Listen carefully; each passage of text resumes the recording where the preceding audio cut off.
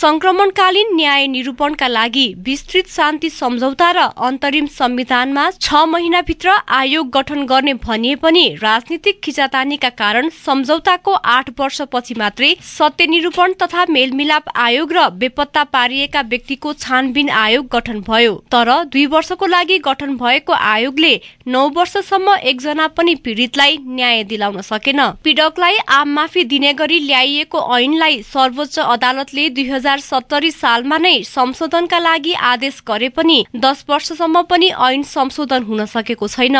सर्वोच्चको आदेश अनुसार ऐन संशोधनका लागि सरकारले ल्याएको संशोधन विधेयक पनि विवादित बन्दा लामो समयदेखि संसदीय समितिमा थन्किएको छ।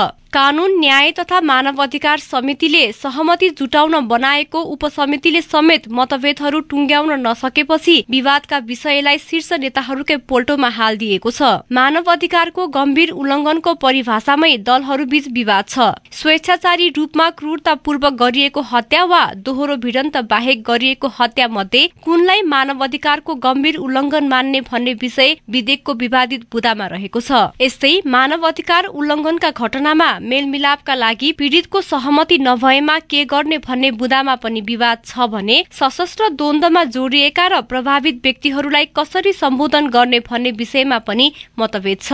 यस्तै सजायका सम्बन्धमा आधार र कारण खुलाएर सजाय कम गर्ने वा शत प्रतिशत नै सजाय तोक्ने भन्ने विषयमा उपसमितिले पनि सहमति जुटाउन नसकी मूल समितिमा नै फर्काएको छ। उपसमितिले तयार गरेको प्रतिवेदनमा यौनजन्य हिंसा तथा जबरजस्ती करणीका घटना छानबिन गर्न छुट्टै इकाइ राख्ने सशस्त्र द्वन्दका क्रममा राष्ट्रिय मानव अधिकार आयोग र महिला आयोग लगायत निकायमा दर्ता भएका उजुरीको छानबिन गर्न सत्य निरूपण तथा मेलमिलाप आयोगले पाउने प्रस्ताव गरिएको छ। यस्तै सशस्त्र द्वन्दका क्रममा जबरजस्ती करणी वा गम्भीर यौनजन्य हिंसामा परेका पीड़ितलाई उजुरी दिन तीन महिनाको म्याद उपलब्ध गराउने र पुनरावेदन सुन्ने प्रयोजनका लागि लागि सर्वोच्च अदालतमा संक्रमणकालीन न्याय सम्बन्धी संयुक्त इजलास राख्ने र त्यसका लागि प्रधान न्यायाधीशले आवश्यकता अनुसार सर्वोच्च अदालतका न्यायाधीशहरूको सूची तयार गरी त्यसमध्येबाट इजलास तोक्न पाउने व्यवस्था गरिएको छ। यस विधेयकमा द्वन्द पीड़ितहरूले मात्र नभई अन्तर्राष्ट्रिय मापदण्ड अनुसार नभएको भन्दै अन्तर्राष्ट्रिय मानवाधिकारवादी संघ संस्थाका साथै राष्ट्रसंघले पनि